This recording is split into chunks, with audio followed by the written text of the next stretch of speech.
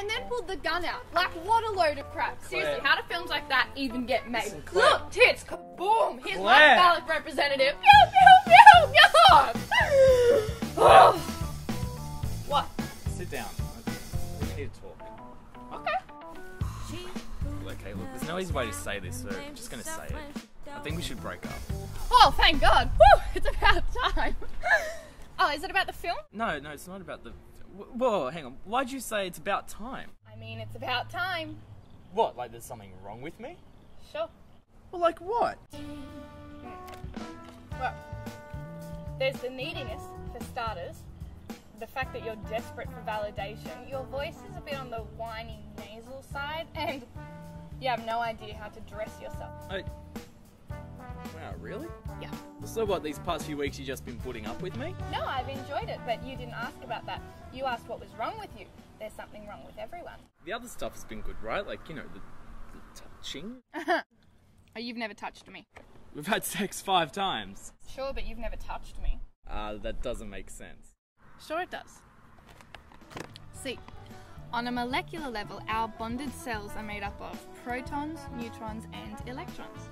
The electrons give off a charge that repels anything. So they never really touch, otherwise, our bodies would merge. Uh, they uh, kind of did. Sure, but not like that.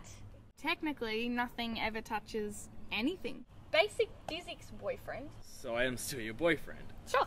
But what about all that other stuff you said? Technicalities and direct answers, you never asked about emotion. Okay, well, bring back to the beginning. Why did you say thank God and it's about time? Oh, you haven't noticed. Noticed what? It's about this time at every date, you start to second guess things with your overactive neurosis and eventually suggest breaking up. No, I don't. It- I mean, concert. and Holy crap! Yep. Why you kept hanging out with me? Because every time we stop, talk about it, and eventually you talk yourself back into it. You remember how witty I am? Oh, yeah, you are pretty funny. You look at me and tell me I'm beautiful. Yeah, you are, aren't you? And then you look a little lower, and everything's okay again. Right, Gavin? What? Oh, yeah, yeah, sure. So, really, it's like you're renewing your vows at every date. When I think about it like that, it's pretty sweet, really. Oh, well, that can be pretty sweet, really. Don't push your luck, Mr. Goldfish Memory. Now, come on, movie's over and I want ice cream. Okay, yeah, sure. It was a pretty crappy movie, though. I kind of liked it.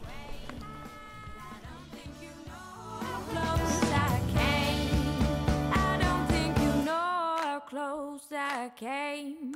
Well, I don't think you know how close I came. I don't think you know how close I came. Well, I don't think you know how close I came.